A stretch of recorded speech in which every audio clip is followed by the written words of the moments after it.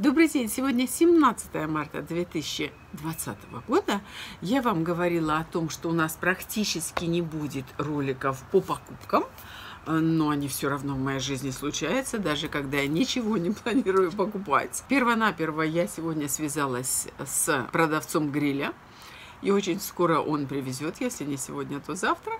Хочу иметь еще в этом доме и газовый гриль.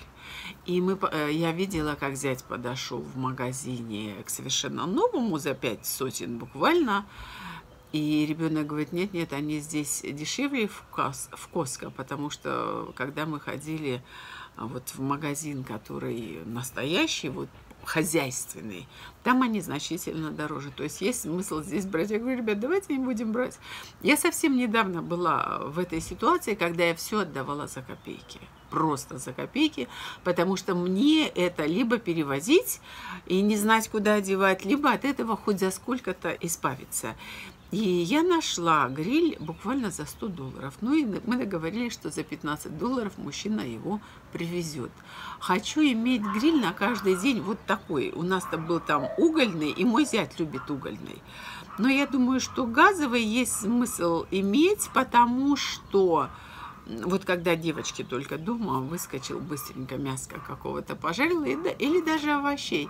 Я думаю, что сегодня мы практически каждый день же жжем вот этот свой пит, который у нас костер на улице. Я очень люблю смотреть на открытый огонь. И я тут уже коробочки какие-то жгу, а какие-то я складываю, потому что у меня же еще предстоит переезд. И неизвестно, как у деток все сложится.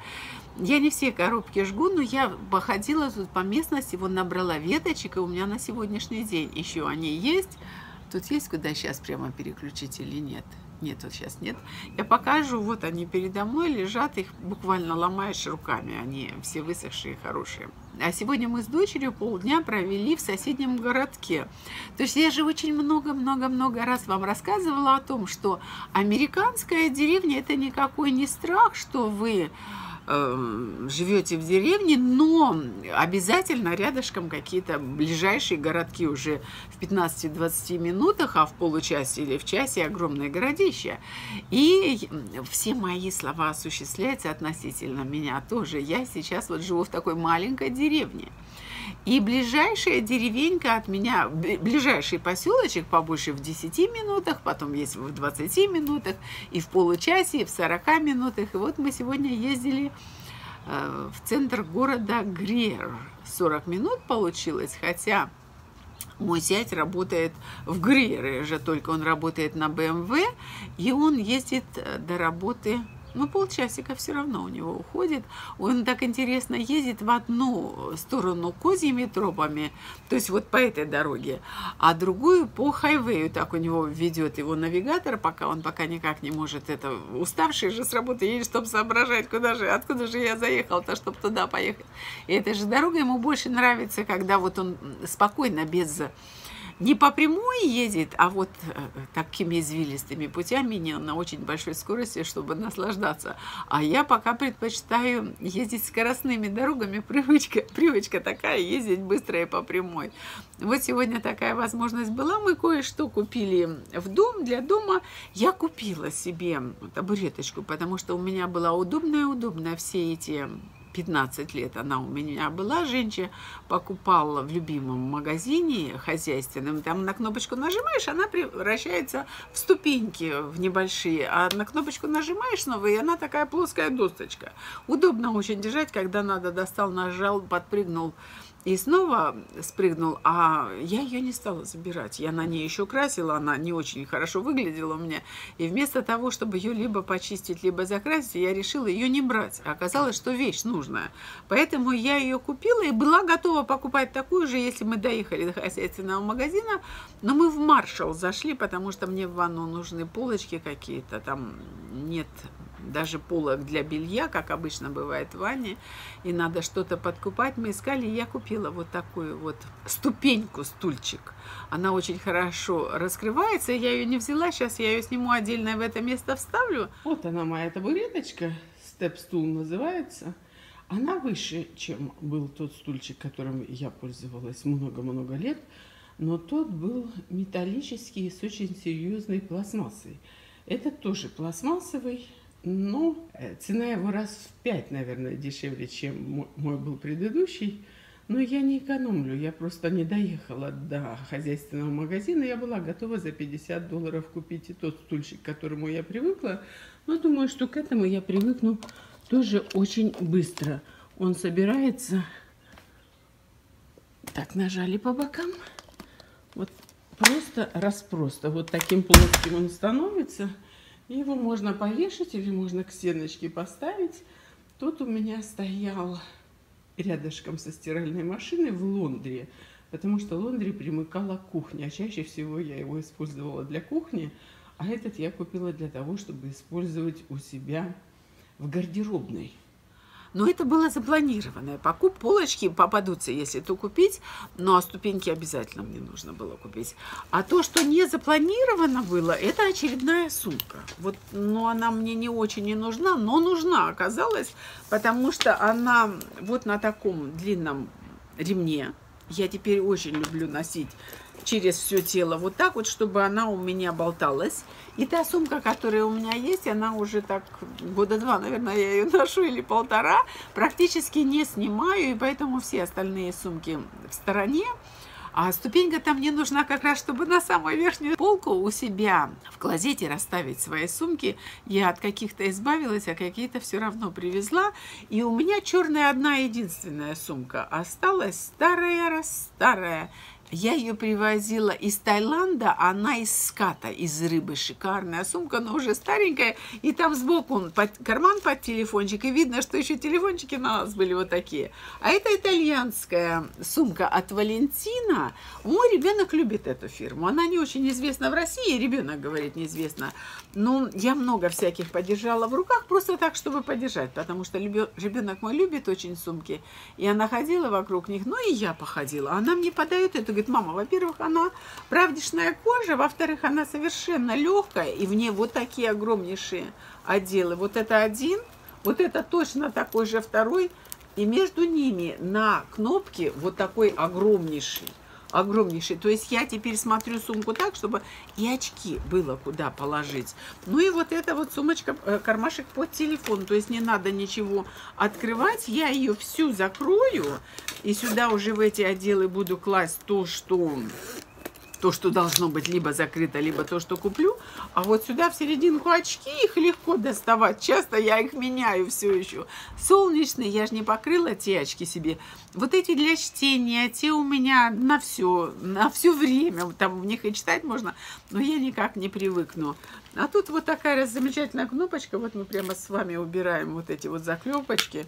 Мне понравилась эта сумка. И она говорит, мама, она рыжая, вокруг к черному. Она тебе все равно всегда подойдет, что бы ты ни надела. Ну, то есть у меня будет еще одна сумка. Я то не буду отказываться, вот которая цветочек у меня синенький, такой непонятный. Она тоже подо все подходит, я ее ношу. Но все-таки купила в Маршале, купила всего за 60 долларов была 110 когда-то, вот такую раз замечательную сумочку я приобрела. И ребенок приобрела, ей тоже не надо сумку, мне-то надо такую.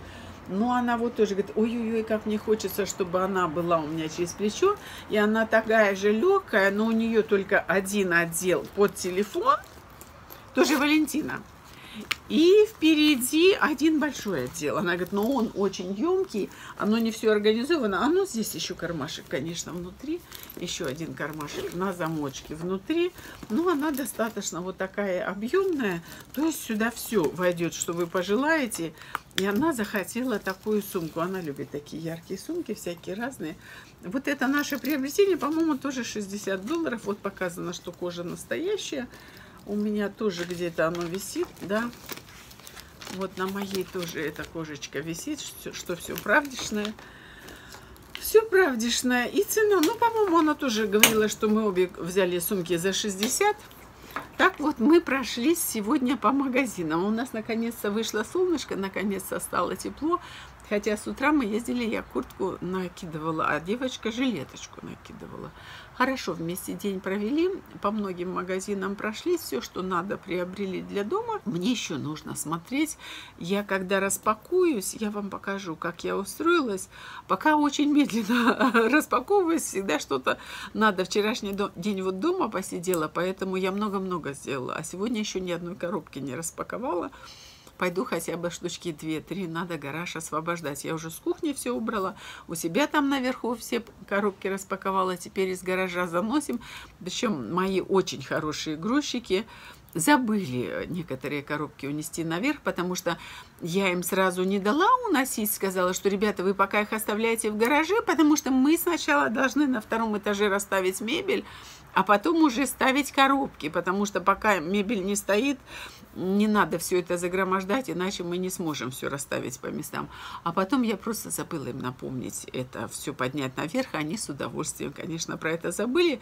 И поэтому работы у меня больше. Либо я бы там прямо в двух-трех шагах все это размещала, либо я бегу вниз в гараж через весь этот большой первый этаж и ношу это на себе – но зато я вот такая стройная-стройная, хотя устала вчера, вот много работала, устала. Но надеюсь, что за эту неделю я все уже раскидаю и смогу вам показать, где я так хорошо устроилась.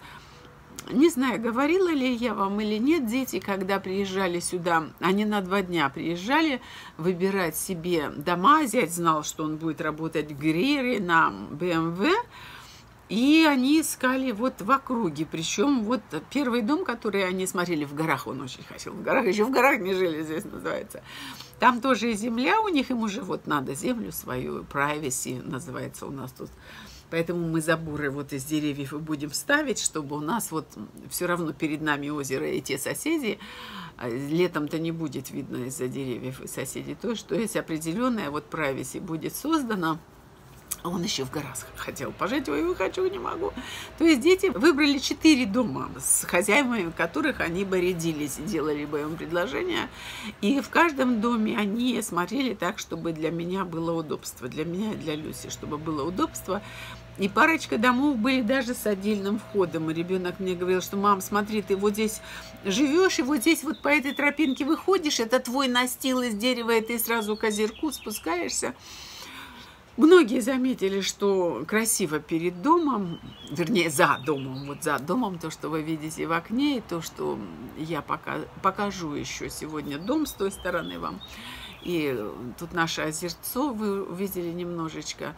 То есть красиво. Американцы любят вот выбрать хорошее место. И вокруг вот именно этого маленького прудика все настроили дома, чтобы был вот такой прекрасный вид. И практически каждый дом, который они смотрели, они в таких живописных местах. Но меня очень радовало, что они говорили, мама, смотри, ты вот здесь будешь, ты вот так вот. Ну и здесь я сегодня проснулась и думаю, дочка, хорошо. Э, котенку говорю, дочь. Люси, Люси говорит, дочь, а смотри, как хорошо, что детей наших сюда перевели. И спасибо, Женечка, я думаю, что все-таки он об этом побеспокоился, потому что мы бы с ней там жили на первом этаже. Там было две комнаты, тоже свободные, обе спальни. Мы бы там с ней жили, но на первом этаже всегда бегают собаки, то есть она бы была в большей опасности, чем здесь. Я надеюсь, что они сдружатся, но не знаю, не знаю как. Девочка-то у нас уже очень возрастная, а мальчишки-то легко бы подружились. Я их тоже допишу сюда же ставлю. У нас будет это такой капустник. И, по, и покупки, и дом мой, как он выглядит пока снаружи. И собачки вы просите о том, чтобы я показала, не только Люсю, но и ее теперешних братьев, они ко мне очень хорошо относятся, потому что я их и завтраками кормлю, и периодически хоть чего-то маленечко пихаю, по чуть-чуть, по чуть-чуть. Сказали не кормить, но по капелюшечке чего-нибудь даю, и они это быстренько поняли, и за мной, за мной везде так проявляют, проявляют свои чувства, что порадовало моего зятя. Вот, потому что он все считает, что ой, собаки целый день без меня, значит, их тут э, недолюбливают. Конечно, конечно, еще как любим, еще как бережем. Все у нас раззамечательно. Ты будешь кушать сегодня? Пойдем кушать, а то сейчас придет брат все съест. Давай, мой красивый, давай, мой хороший мальчик. Пойдем кушать. Нет, пошли, пойдем сюда. Иди, мой хороший мальчишка. Иди сюда. Смотрите, бабушка все приготовила. Иди сюда, Баксик. Иди, мой маленький, иди сюда кушать. Хочешь? Иди, хороший. Иди, мой хороший, иди. Иди, мой сладкий. Иди сюда. Иди скорей. Сейчас все скормлю другому. Будешь знать. Смотри, сейчас брат твой придет и все съест. Пойдешь кушать? Пойдешь? Модный сильно. Будешь кушать? Иди, мой золотой, иди кушай. Вот так, сейчас брата впущу. Все. Сейчас брат придет. Вот так вот у нас брат. Вот. У нас хороший аппетит. Всегда хороший аппетит. Ну и что, ты остался без завтрака снова? Вот так вот и сиди. Спасибо, мои золотые, что заходите и на этот канал тоже. С вами была Галина Смит. Сегодня самый лучший день. Всего доброго. Пока-пока.